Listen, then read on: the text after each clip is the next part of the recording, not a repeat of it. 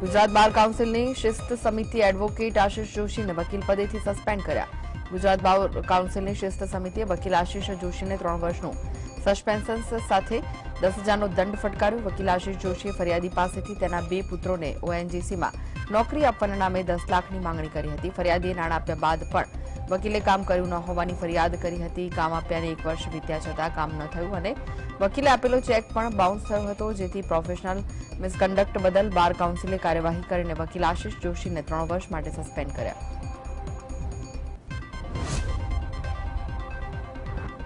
અમદાવાદ મહાપાલિકામાં આયોજિત રિવ્યુ બેઠકમાં બજેટના કામો પર ચર્ચા થઈ. બજેટમાં મૂકવામાં આવેલા પ્લાસ્ટિક રોડ બનાવવાનું કામ સરદાર બાગમાં પાણીની ટાંકીનું કામ થઈ શક્યું નથી. આથી અધિકારીઓએ તે માટે સૂચના આપવામાં આવી છે. તો સાથે રથયાત્રાના રૂટ પર પ્રાથમિક વિકાસની કામગીરી ઝડપી પૂર્ણ થાય તેના પર ચર્ચા થઈ હતી. મહાપાલિકા હેઠળના એકસો ત્રીસ કરોડના વ્હાઇટ ટોપિંગ રોડની કામગીરી ચાલી રહી છે. બસો પચાસ કરોડના કામ ટેન્ડરિંગ પ્રક્રિયામાં છે, જેમાં મહિલા યોગ સેન્ટર, અસારવા અંડરબ્રિજ કચરાનો પ્રોસેસિંગ પ્લાન્ટ સહિતની બાબતો ટેન્ડરિંગ પ્રક્રિયામાં છે. મહાપાલિકા દ્વારા માળખાગત સુવિધા માટે દસ કરોડનું બજેટ છે, જેમાંથી સવા બે કરોડના કામોની કામગીરી પૂર્ણ થઈ છે સુરતના કતારગામ પોલીસ મથકે લક્ષ્મી રેસીડેન્સીના સ્થાનિકોએ પહોંચીને પોલીસ સ્ટેશનનો ઘેરાવ કર્યો આ સમયે પોલીસ અને સ્થાનિકો વચ્ચે ઘર્ષણના દ્રશ્યો જોવા મળ્યા લક્ષ્મી રેસીડેન્સીના ક્લબ હાઉસના બિલ્ડરે કબજે જમાવી લેતા સ્થાનિકોએ શાંતિપૂર્ણ માહોલમાં ધરણા કર્યા હતા જોકે પોલીસે સોસાયટીના લોકોની અટકાયત કરીને પોલીસ સ્ટેશન લઈ આવી તેમજ માર માર્યો હોવાનો પણ આક્ષેપ છે જે બાદ લક્ષ્મી રેસીડેન્સીના રહીશોએ પોલીસ મથકે પહોંચી ઘેરાવ કર્યો બિલ્ડર શહેરનો નામી ઉદ્યોગપતિ હોવાથી પોલીસે સોસાયટીના લોકો પર જ કાર્યવાહી કરી હોવાનો સ્થાનિકોએ આક્ષેપ કર્યો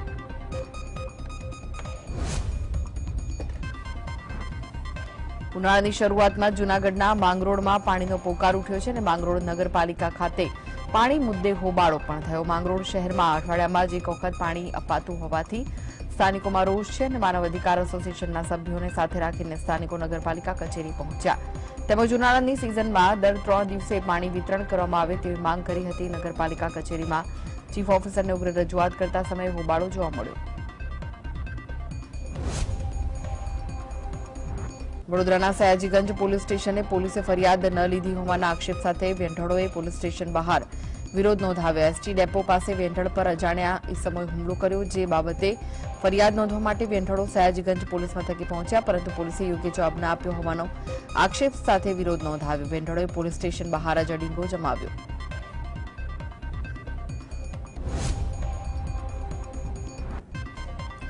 ઓપરેશન કાવેરી અંતર્ગત સુદાનથી ભારતીયો વતનમાં પરત ફર્યા છે રેસ્ક્યુ કરેલા લોકોમાંથી એકસો પચાસ રાજકોટવાસીઓ બસ મારફતે રાજકોટ પહોંચ્યા જેઓને લોકોએ આવકારો આપી પરિવારજનોને લાગણી લાગણી ભર્યા દ્રશ્યો જોવા મળ્યા હતા રાજકોટ આવેલા એકસો પચાસ મુસાફરોમાં એકસો ત્રણ વર્ષના વૃદ્ધોનો પણ વૃદ્ધાનો પણ સમાવેશ થાય છે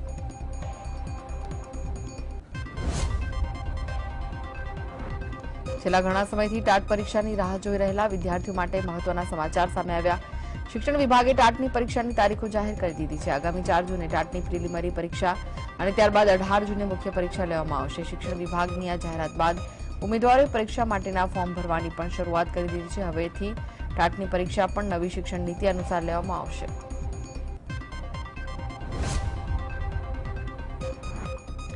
આગામી સાત તારીખે તલાટી કમ મંત્રીની પરીક્ષા યોજાવાની છે. ત્યારે આ મામલે તમામ તૈયારીઓ પૂર્ણ કરી દેવામાં આવી છે. ગુજરાત પંચાયત સેવા પસંદગી મંડળના અધ્યક્ષ હસમુખ પટેલે પત્રકાર પરિષદ યોજીને પરીક્ષાને લગતી તમામ માહિતી આપી. માનહાની કેસ મામલે સુરત સેશન્સ કોર્ટના ચુકાદાને પડકારતી અરજી પર રાહુલ ગાંધીને હાલ કોઈ રાહત મળે તેવી શક્યતા ઓછી છે. ઉનાળુ વેકેશન બાદ હાઈકોર્ટ આ મામલે ચુકાદો સંભળાવશે. છેલ્લી સુનાવણી બાદ હવે જસ્ટિસ હેમંત પ્રક્ષકની કોર્ટમાં પણ તમામ પક્ષોની દલીલો પૂર્ણ થઈ ગઈ છે.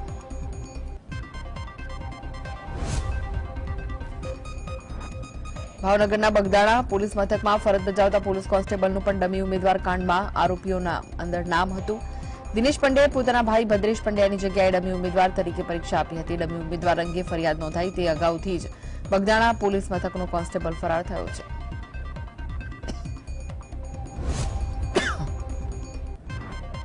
ભાવનગર તોડકાંડમાં ઝડપાયેલા યુવરાજસિંહ જાડેજાના સાળા શિવભા ગોહિલ રિમાન્ડ પૂરા થતા તેને કોર્ટમાં રજૂ કરાયો હતો. કોર્ટે શિવભા ગોહિલને જેલ હવાલે કરવાનો આદેશ કર્યો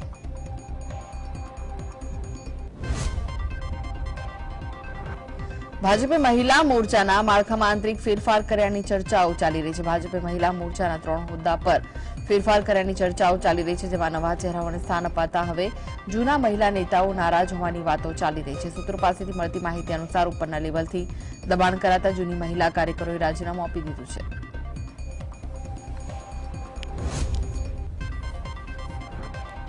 અમદાવાદના પ્રદેશ કાર્યાલયમાં કોંગ્રેસની મહત્વની બેઠક યોજાઈ, જેમાં પાર્ટીના સંગઠનને મજબૂત બનાવવા માટે ચર્ચા કરવામાં આવી. એસસી, એસટી, ઓબીસી અને લઘુમતી મોરચાના આગેવાનો આ બેઠકમાં હાજર રહ્યા.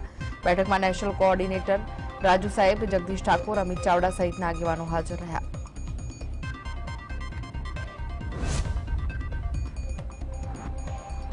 ગુજરાત માધ્યમિક અને ઉચ્ચતર માધ્યમિક બોર્ડ દ્વારા ધોરણ બાર વિજ્ઞાન પ્રવાહનું પરિણામ જાહેર કરવામાં આવ્યું. પરિણામની વાત કરીએ તો ગત વર્ષની સરખામણીમાં આ વર્ષે છ પોઈન્ટ ચુમ્માલીસ ટકા ઓછું પરિણામ રહ્યું જે અંદાજે દસ હજાર જેટલા વિદ્યાર્થીઓ એવા છે કે જેઓ એક અથવા વધારે વિષયમાં નાપાસ થયા નાપાસ થનારા વિદ્યાર્થીઓ માટે જૂન માસમાં પૂરક પરીક્ષાનું આયોજન કરવામાં આવશે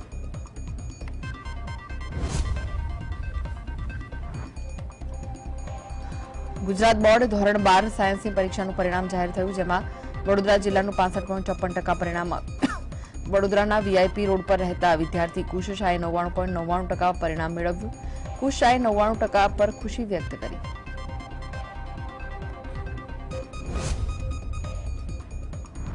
ગુજરાતમાં ડિગ્રી એન્જિનિયરિંગ કોલેજમાં પ્રવેશ માટે રજીસ્ટ્રેશન શરૂ થયું છે. એસીપીસીએ એન્જિનિયરિંગના પ્રથમ વર્ષ માટેની સમગ્ર પ્રક્રિયા ઓનલાઈન કરવામાં આવશે. બાવીસ મે સાંજે પાંચ વાગ્યા સુધીમાં વિદ્યાર્થીઓ પ્રવેશ માટે રજીસ્ટ્રેશન કરાવી શકશે.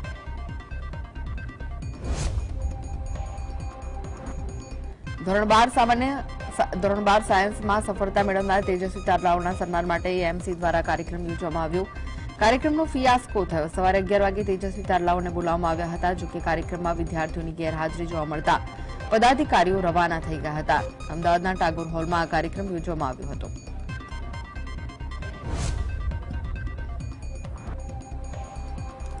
થોડા દિવસો પહેલા રાજકોટમાં નગર સેવા પ્રાથમિક શિક્ષણ સમિતિના સભ્યોએ રાજીનામું આપ્યા હતા હવે આ મામલે તપાસનો ધમધમાટ શરૂ કરવામાં આવ્યો છે. રાજકોટ નગર પ્રાથમિક શિક્ષણ સમિતિની ગ્રાન્ટ મામલે હવે તપાસ શરૂ કરવામાં આવી છે. નગર પ્રાથમિક સમિતિ અંતર્ગત રાજકોટમાં બાણું જેટલી શાળાઓને ગ્રાન્ટની ફાળવણી કરવામાં આવી છે, જેને લઈને હવે તપાસ શરૂ કરવામાં આવી છે.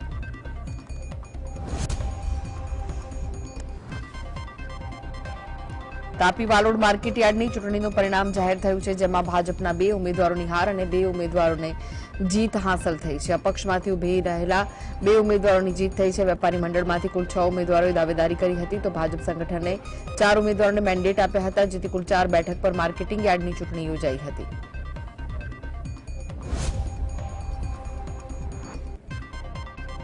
દિયોદર એપીએમસી ચેરમેન પદ માટે અઢી વર્ષનો સમયગાળો પૂર્ણ થયો છે, જેથી હવે બીજી ટર્મના ચેરમેન પદ માટે ચૂંટણી યોજાઈ. ભાજપે ચાલુ ચેરમેન ઈશ્વરભાઈ તરકને મેન્ડેટ આપતા તેઓએ ચેરમેન પદ માટે ફોર્મ રજૂ કર્યું જો કે સામે બીજું કોઈ ફોર્મ ન આવતા ઈશ્વરભાઈ બિનહરીફ ચૂંટાયા ચેરમેન પદે ચૂંટાયેલા ઈશ્વરભાઈને સમર્થકોએ ફૂલહાર કરી શુભેચ્છાઓ પાઠવી હતી વડોદરા જિલ્લાના સાવલી એપીએમસીમાં ફરી ભગવો લહેરાયો સાવલી ખેતીવાડી ઉત્પન્ન બજાર સમિતિમાં ખેડૂત વિભાગની દસ બેઠકો માટે બાર ઉમેદવારોની ચૂંટણી યોજાઈ જેમાં દસ ઉમેદવારો ભાજપ તરફ જ્યારે બે ઉમેદવારો કોંગ્રેસ તરફી હતા ચારસો બ્યાસી મતદારો પૈકી ચારસો બાવન મતદારો મતદાન કર્યું હતું જેમાં ભાજપ પ્રેરિત પેનલના દસ ઉમેદવારોનો વિજય થયો હતો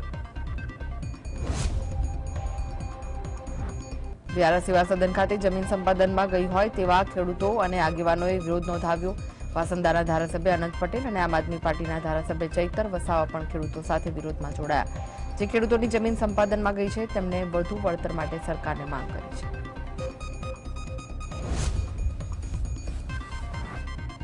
અમદાવાદના વિવાદિત મહમ્મદપુરા બ્રિજનું કામ હવે પૂર્ણતાના આરે છે. ટૂંક સમયમાં જ આ બ્રિજનું લોકાર્પણ કરવામાં આવશે. બાર મે અથવા તો પંદર મેના રોજ બ્રિજનું લોકાર્પણ કરવામાં આવે તેવી ચર્ચા છે. પ્રધાનમંત્રી નરેન્દ્ર મોદી આ બ્રિજનું લોકાર્પણ કરશે તેવી ચર્ચાઓ ચાલી રહી છે.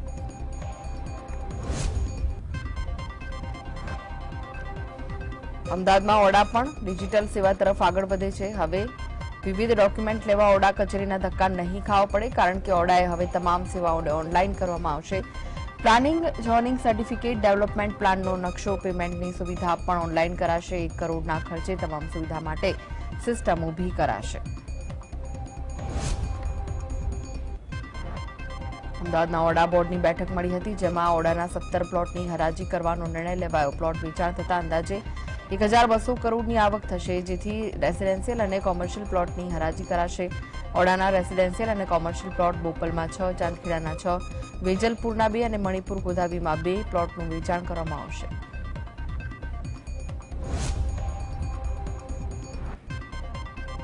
મહેસાણાની વડસમામાં કોલેજમાં થયેલી વિદ્યાર્થીનીના મોત પર મોટો ખુલાસો થયો. કોલેજની લેબ રૂમમાં જ ગળે ટૂંપો આપીને હત્યા કરાઈ હોવાનું સામે આવ્યું વડસમા ગામની શ્રી સત્સંગી સાંકેત ધામ રામ આશ્રમ ગ્રુપ ઇન્સ્ટિટ્યૂટ કોલેજની રિસર્ચ લેબ નંબર બેમાં યુવતીની હત્યા કરી, યુવક ફરાર થયો હતો. મહેસાણા પોલીસે પ્રથમ અકસ્માતે ગુનો નોંધી તપાસ શરૂ કરી, પરંતુ બાદમાં યુવતીની હત્યા થયાનો ખુલાસો થયો. મહેસાણામાં એક જ અઠવાડિયામાં બે યુવતીની હત્યાના બનાવ સામે આવ્યા છે.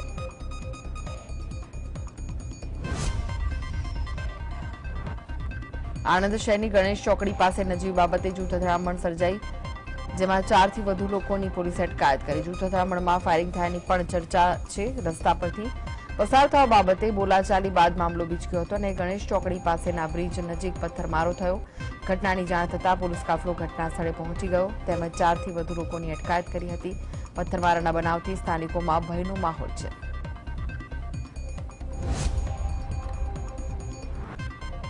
મહીસાગરના સંતરામપુરમાં એસીબીએ ટ્રેપ કરી લાંચિયા કર્મચારીને ઝડપી પાડ્યો સંતરામપુરની પ્રાંત કચેરીમાં નોકરી કરતા કમ્પ્યુટર ઓપરેટરે ખેડૂત પાસે ખરાઈના દાખલા માટે સિત્તેર હજાર રૂપિયાની લાંચ માંગી હતી જો કે ખેડૂતે એસીબીને જાણ કરતા એસીબીએ છટકું ગોઠવી તાલુકા પ્રાંત કચેરીના કર્મચારીને લાંચ લેતા રંગે હાથ ઝડપ્યો છે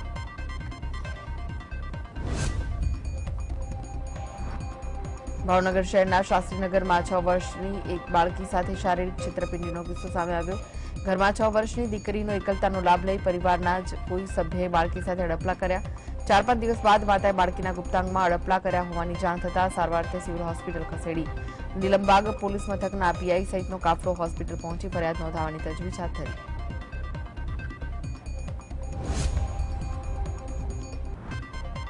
પાલનપુરમાંથી ખાતર કૌભાંડ ઝડપાયું છે. સબસિડીવાળું યુરિયા ખાતર ઔદ્યોગિક એકમોમાં વેચતા શખ્સો ઝડપાયા. જૂના ડીસાની લાયસન્સ ધારક જય ગોગા દુકાનમાંથી ખાતર મેળવી જગાણા પાસે ગોડાઉનમાં ભર્યું હતું પાલનપુર તાલુકા પોલીસે ગોડાઉનને સીલ કરી એક શખ્સની અટકાયત કરી સાથે સાથે છ પોઈન્ટ સત્તાવન લાખના ત્રણસો કટ્ટા ખાતર અને ટ્રક સહિત તેર પોઈન્ટ સડસઠ લાખનો મુદ્દામાલ પણ જપ્ત કર્યો પાટણ જિલ્લાના છ શખ્સો સામે પોલીસે ફરિયાદ નોંધી વધુ તપાસ હાથ ધરી છે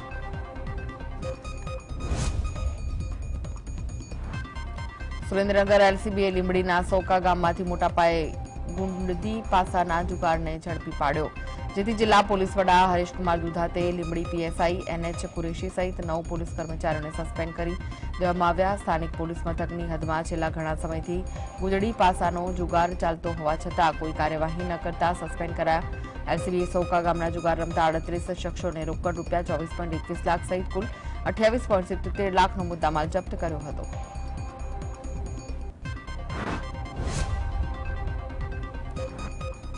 ડ્રોલના ફલ્લા ગામમાં મહિલા બેંક કર્મીની છેડતી કરનાર શખ્સને ઠપકો આપતા આધેડની હત્યા કરી દેવામાં આવી મહિલા સૌરાષ્ટ્ર ગ્રામીણ બેંકની શાખામાં ફરજ પર હતી ત્યારે સહકર્મી આરોપી ધવલ પટેલે મહિલાની છેડતી કરી મહિલાના સાસરા ગોવિંદભાઈ ઘેટિયા અને પતિ મિલનભાઈએ સહકર્મીને ઠપકો આપ્યો જેથી આરોપીએ છરીના ઘા મારતા મહિલાના સસરાનું કરુણ મોત નીપજ્યું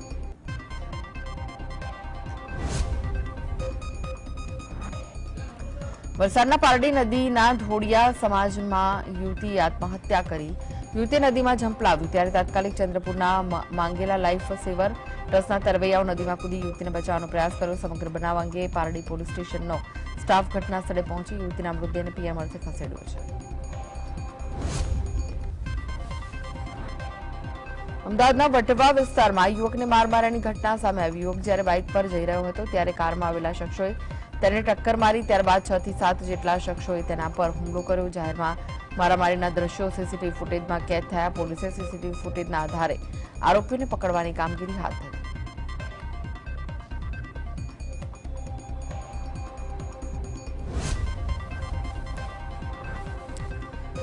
સુરત ક્રાઇમ બ્રાન્ચે બે રીઢા ગુનેગારોને ઝડપી પાડ્યા રાંદેર વિસ્તારમાંથી ક્રાઇમ બ્રાન્ચે બંને આરોપીઓની ધરપકડ કરી બાતમીના આધારે પોલીસે शीतल चार रस्ता नजीक दिनेश कुमावत और शिवानंद जयसवाल नामना बे आरोपियों की धरपकड़ की आरोपी पास तपास करता पुलिस ने चोरी तेवीस मोबाइल मिली आया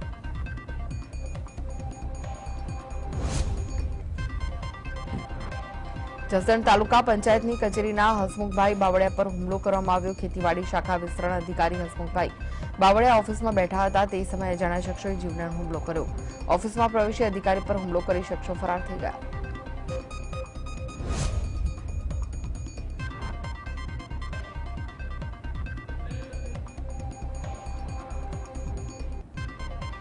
વડોદરામાં પીસીબી પોલીસે બાતમીના આધારે વિદેશી દારૂની રેડ પાડવા જતા સટ્ટા બેટિંગનું નેટવર્ક ઝડપાયું પોલીસને સટ્ટા બેટિંગનું નેટવર્ક ઝડપાતા ચોંકી ઉઠી હતી પોલીસે સટ્ટા બેટિંગ માટે વપરાતા આધુનિક ઇલેક્ટ્રોનિક સાધનો રોકડ અને મોબાઈલ મળી અંદાજે સુડતાલીસ હજારનો મુદ્દામાલ કબજે કર્યો પોલીસે સમગ્ર સટ્ટાકાંડમાં ભાવિક ગાંધી અને નરેન્દ્ર પરમારની ધરપકડ કરી વધુ તપાસ હાથ ધરી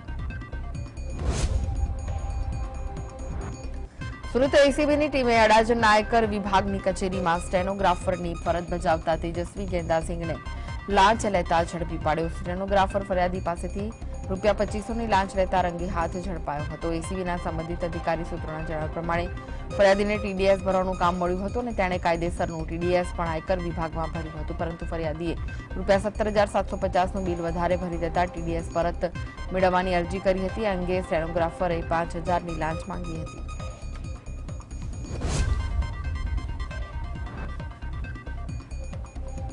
યાત્રાધામ ઊંઝા ઉમિયા માતાજી મંદિરે વર્ષોની પરંપરાગત શોભાયાત્રામાં ઉમિયા માતાજી નગરચર્યાએ નીકળશે. ઊંઝા ઉમિયા માતાજી સંસ્થાને પરંપરાગત શોભાયાત્રાનું આયોજન કર્યું છે. વર્ષોથી ચાલતી પરંપરા મુજબ આ વર્ષે પણ વૈશાખ સુદ પૂનમના પવિત્ર દિવસે મા ઉમિયા નગરચર્યા કરશે, જેમાં હજારો શ્રદ્ધાળુઓ સાથે એકસો વિવિધ ઝાંખીઓ અને શોભાયાત્રા એમાં જોડાશે. મા ઉમિયાની નગરીના ચાર કિલોમીટર વિસ્તારમાં પરિભ્રમણ કરી ભક્તોને દર્શન કરાવી મંદિરે પરત ફરશે.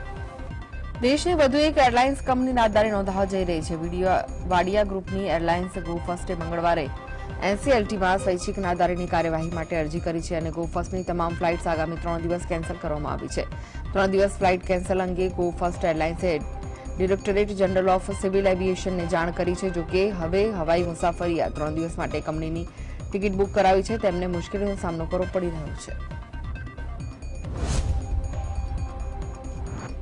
ગો ફર્સ્ટ એરલાઇન્સ લાંબા સમયથી નાણાકીય સમ- સમસ્યાનો સામનો કરી રહી છે. આવી સ્થિતિમાં ઓઇલ કંપનીઓની બાકી રકમ ચૂકવવા સમર્થન નથી. આમ નાણાંની અછતના કારણે ફ્યુઅલ મળતું બંધ થઈ ગયું છે અને એરલાઇન્સને ત્રણ દિવસ માટે કેન્સલ કરવાનો મોટો નિર્ણય લેવાયો છે. આર્થિક સંકટમાં ઘેરાયેલી એરલાઇન કંપની માટે એન્જિન બનાવતી અમેરિકન કંપની પ્રાટ એન્ડ વિટને સપ્લાય બંધ કરી દીધો છે. આ કારણે કંપની પાસે ફંડની ભારે અછત છે અને અઠ્યાવીસ વિમાન ગ્રાઉન્ડેડ થયા છે.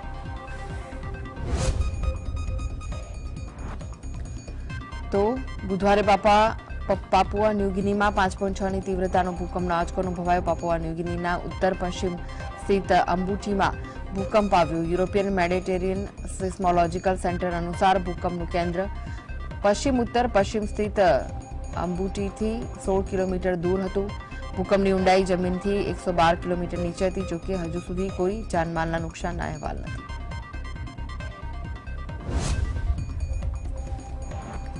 હવામાન વિભાગના ઓરેન્જ એલર્ટને ધ્યાનમાં રાખીને પોલીસે મહાનિર્દેશકે બુધવારે કેદારનાથ યાત્રાને સ્થગિત કરવાનો આદેશ આપ્યો જેથી ઋષિકેશ શ્રીનગરથી જે યાત્રાને રોકી દેવામાં આવી છે પોલીસ મહાનિર્દેશકે ખરાબ હવામાનને જોતા મુસાફરોને સહયોગ આપવાની અપીલ કરી છે હવામાન વિભાગે બે અને ત્રણ મેના રોજ એલર્ટ જાહેર કર્યું હતું ત્યારે આવી પરિસ્થિતિમાં બુધવારે કેદારનાથમાં રોકાવું શક્ય નથી તમામ મુસાફરોને સોનપ્રયાગ અને ગૌરીકુંડમાં રોકવામાં આવ્યા હોવાનું પોલીસ મહાનિર્દેશે જણાવ્યું તો યાત્રીઓને સહકારની અપીલ કરતા ડીજીપીએ કહ્યું કે તેઓ યાત્રા ઋષિકેશ પહોંચવાની યોજના પણ ન બનાવે, સાથે જ શ્રીનગર, રુદ્રપ્રયાગ સુધી રોકાયેલા મુસાફરોએ પણ ચાર મે સુધી કેદારનાથ જવાનું વિચારવું ન જોઈએ.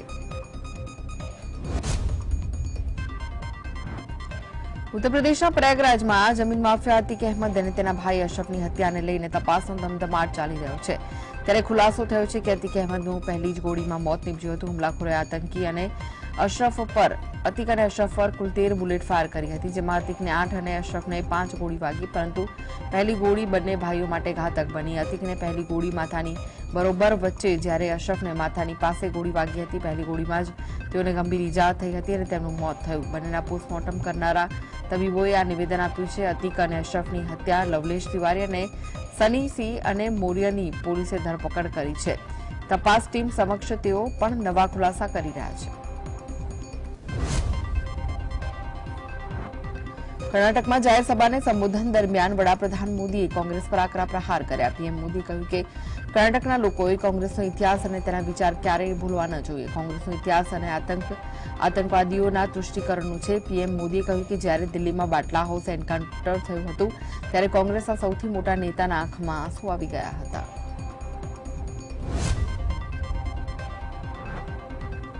કર્ણાટકમાં જાહેર સભાને સંબોધન દરમિયાન વડાપ્રધાન મોદીએ કોંગ્રેસ પર આકરા પ્રહાર કર્યા પીએમ મોદીએ કહ્યું કે આજકાલ કોંગ્રેસ કર્ણાટકમાં ઘણી ઘણા પ્રકારની ગેરંટીનું બંડલ લઈને બેસી છે વડાપ્રધાન મોદીએ કહ્યું કે જે પાર્ટી દેશવાસીઓનો વિશ્વાસ ગુમાવી ચૂકી છે જેના અસ્તિત્વ પર સંકટ છે એ ગેરંટીના નામે માત્ર જૂઠાણું ફેલાવી શકે છે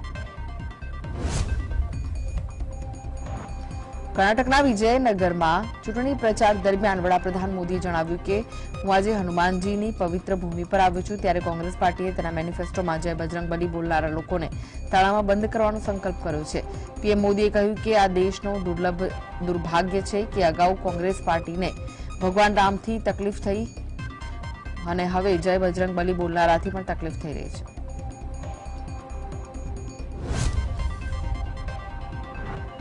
નેશનલિસ્ટ કોંગ્રેસ પાર્ટીના અધ્યક્ષ શરદ પવારે મંગળવારે પાર્ટીનું અધ્યક્ષપદ છોડવાની સત્તાવાર જાહેરાત કરી.